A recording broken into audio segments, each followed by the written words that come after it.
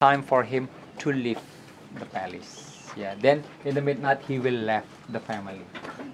Will we continue? Will we continue?